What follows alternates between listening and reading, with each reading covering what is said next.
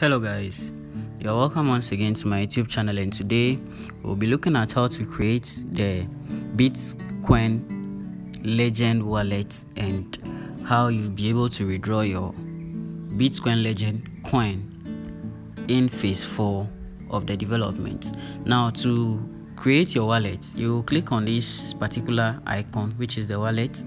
Then you push here to make new wallet. You click there then first of all what you do is you click on bcl which is the bitcoin legend wallet. You have to create that one first. Now there is an address or a private key.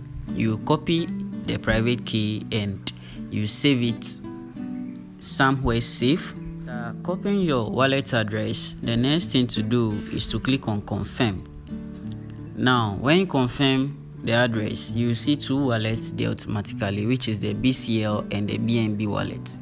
The next thing to do is to click on push here to make new wallet and click on btc bar. That one have been removed. So the next thing you have to do is to click on the ether or the ethereum wallet and do same to it. After confirming is to create the other wallet address that you have not done.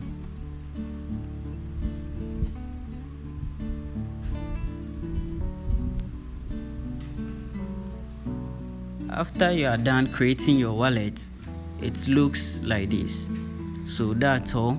After creating your wallet, when you are in phase 4, um, you'll be able to withdraw the BCL that's 1 million to 5 million users. You'll be able to withdraw your coin. Thank you for watching.